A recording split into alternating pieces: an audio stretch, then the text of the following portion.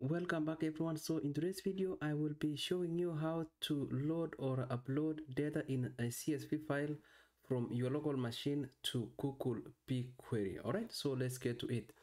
So i'm just going to go over to my bigquery studio and right here i'm logged into my gcp and i'm on my bigquery uh, editor.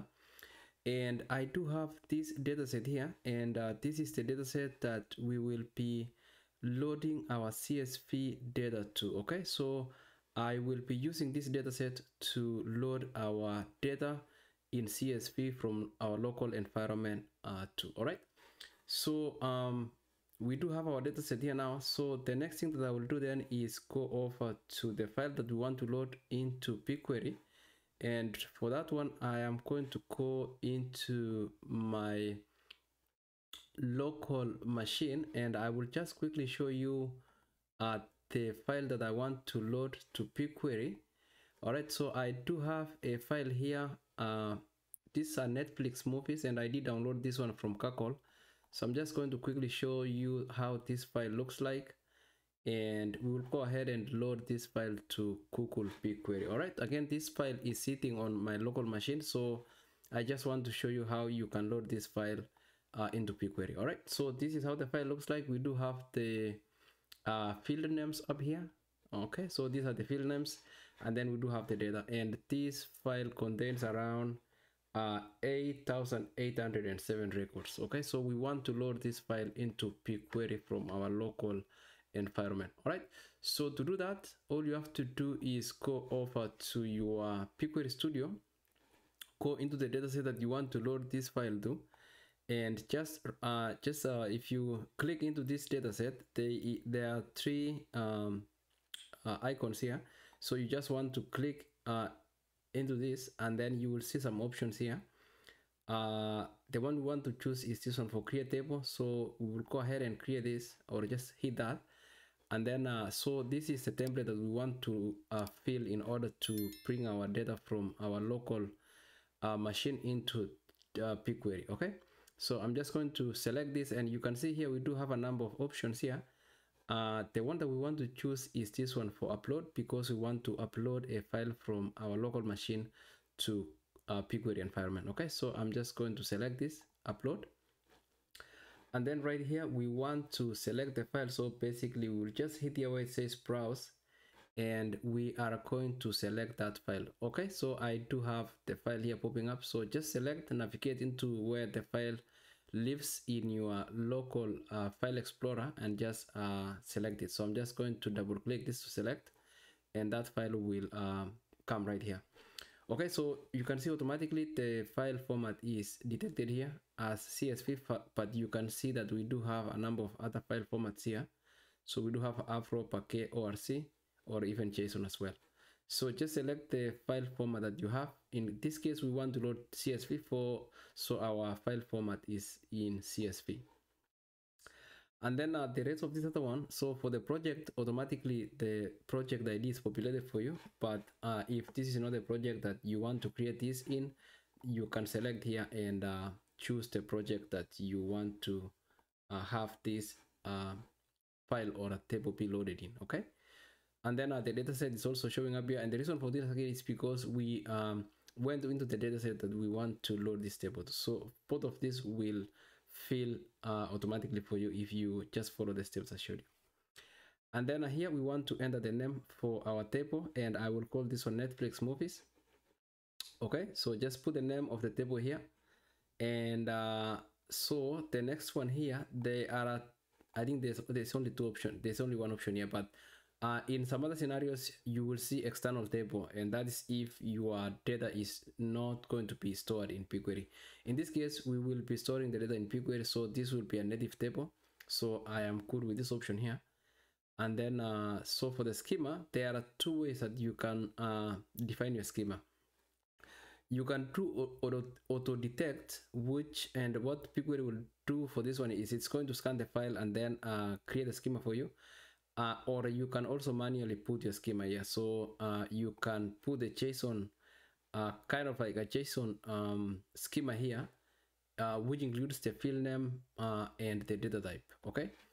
Uh, so we are not going to go with the second option. We will just go with the first one here for auto detect we want BigQuery to detect the csv file for us and create a schema for us okay and then uh, I'm, go I'm not going to do any partitioning or any clustering uh, for now uh, but if you go down here you can also see some other additional options. So uh, you can see here the write preferences. We do have uh, three options here. Uh, the first one here is append to the table. This is if you don't want to if the table already exists and you don't want to um, overwrite that table or uh, kind of like truncate, delete it. Uh, so basically this will append the, the, data that you will be loading. And then write if empty uh, will be uh, creating the table and then write the data for, for, for, you know, into that table. And then we do have here the overwrite, okay? So um, again, the append will append the data. It's not going to overwrite the table. Write if empty will basically write into the table if the table is empty. Now I think if the app if the table is not empty in this scenario then um, there might be an error that will be thrown for you. And then for the third one overwrite will basically delete the, the data that's uh, there in the table already and overwrite it. Okay so that's self-explanatory right there. So in this case this table does not exist so i am okay with this option here. Uh, write if empty. And then you can define if there are any number of errors that you want to allow for this. So i will say zero for this case and then uh, this is a comma delimited because the CSV double quote that's fine. I will leave this one as default. And then for header rows to skip uh, row number zero that is okay. We want to skip row number zero. So what this basically means is this first row here we want to skip this. Uh, or we are not skipping it really because um, the the, we are not skipping any row because we have said that we want to automatically detect the column names. So BigQuery will just use this first one as the field names. Okay. Now in scenarios where you had your own uh, field names or uh, columns, so if you go with the uh, other option there, right? So if you go with the edit as text, what happens is you can then uh, skip the first uh, row right? And then that way then your schema or column names will be automatically added okay? So i'm not going to skip anything here. In the in the in the in the in the header rows for this i will just leave this one as it is. And then uh, we do have two additional uh, options here and i found these ones to be useful. Uh, so the first one here uh, quoted new lines here. Uh, this one enables uh, enable to include new lines containing quoted data sections in new in new cells when disabled new lines will signal a new row now i will check this one and uh, one of the reason i will do that is because if you go into a field like this one for description you do have long description lines. So in scenarios if your data is not clean then uh, you might have situations where this one has uh, to go to a new line. And so if you don't choose this option here then uh, a new line will be created as its own row which is not what we want. We want basically the entire description to be a uh, within a row itself. And then uh, this additional one here enable to accept rows that are missing trailing optional columns. Okay so you can also allow this. Uh, in this case i am also going to use this but it's not necessary. I'm just going to do this um, just to make sure that i'm taking care of everything uh, but you can also skip this. Um, but this one i have found this one to be pretty much necessary in in in, in most cases. Okay uh, and uh, i will leave everything else as it is then and that is pretty much it. So i'm just going to go ahead then and uh, click create table. Actually let me check this and then i'll go ahead and create table. And now the file will be loaded into BigQuery so if there are any any errors in your file uh, you will see them here um, um, showing up right here before the table is loaded. But in my case there are no errors so the table has been created and you can see here says go to the table or you can just basically refresh your data set and you will see the table created right there. So you can see automatically the table is popping up now which is this one here uh, netflix movies. So just click into that table and then you can see that we have we now have our table created and the field names automatically were detected and also the associated data type is showing up as well. So um, what BigQuery does with the data types is it scans the first uh, couple of rows and determines whether this should be a string or an integer. So if you go to a row like this one here so you can see an s1 here so that is it's just going to check a few rows here and uh, this will be a string. The same thing with the rest of these other rows okay? So this is uh, these are the field names and uh, the data types and the rest of this other information here. Okay so um, you can get additional information. So if you go to details here you can get additional uh, metadata for this table. So you can see uh, when it was created and uh, the most important one here will be this one here the storage information. So you can see we do have the number of rows that were loaded to be 8807 so that should match what we have in our excel file here. So if you check here we do have 8808 and the reason for that is because it includes the first row here which is holding the headers so uh, we are not going to count that in our records and therefore our records will be 8807 so that means that we loaded all of the records from that file into BigQuery and this is the size of our table okay? Uh, now from here you can uh, do a preview. If you preview this table this will give you a preview of the data uh, as it looks in this file okay so this is pretty neat in BigQuery because you can get an idea of how your data looks like p, p, uh, in, um, before running any scripts or any queries okay so so this is good because when you run queries in Bigtable, you get billed for the queries that you run. But when you do a preview like this, then uh, you are not getting billed. So this is really good if you just want to get a, an idea of how your data looks like.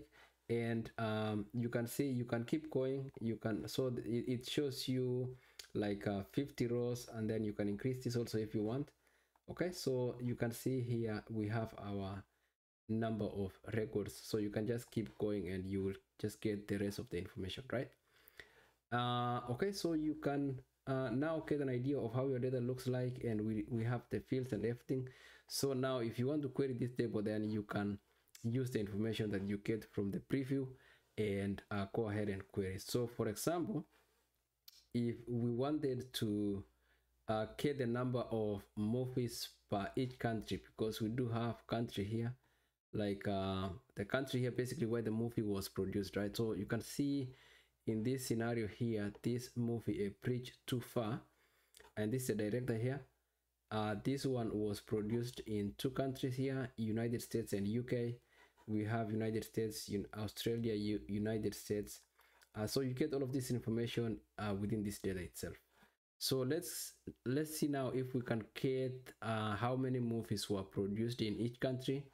And for that i'm just going to um, so you see here in order to open a query editor you can click here uh, query this table and this is going to pop populate for you uh, a select statement and it includes also the table that we want to run queries against right?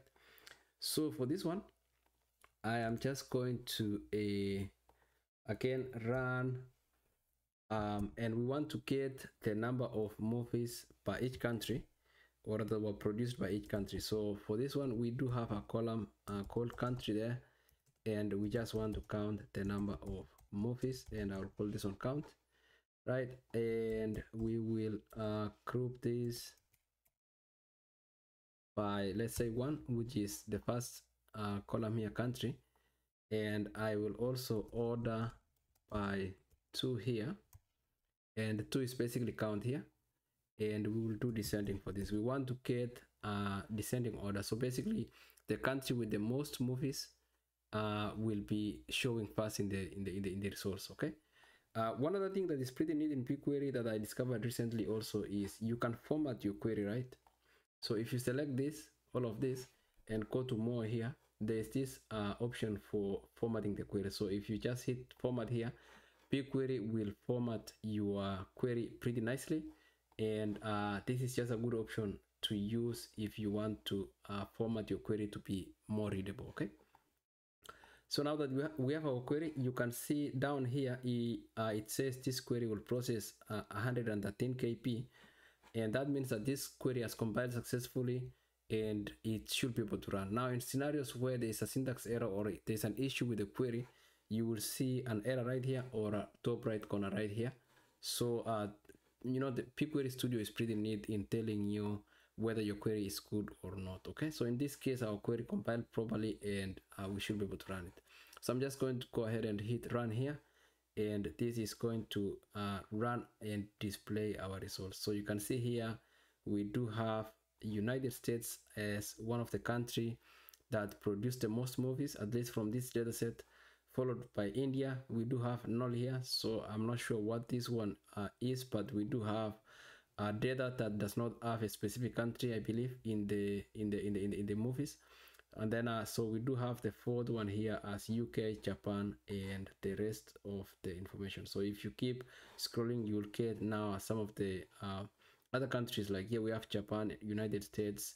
Together they produce 12 movies uh, india united states then and uh, so far and so forth okay? All right guys so that's how you load data from your local environment into google BigQuery and that is basically what i quickly wanted to show you how to upload or load a csv file from your local machine into google BigQuery and we successfully did that and we are able to run queries against this file after we successfully loaded it. All right so i hope this video was helpful and if it was please give it a thumbs up and also do subscribe to the channel if you have not in order to stay updated for videos like this in future. Alright guys i will see you then in the next video. Bye bye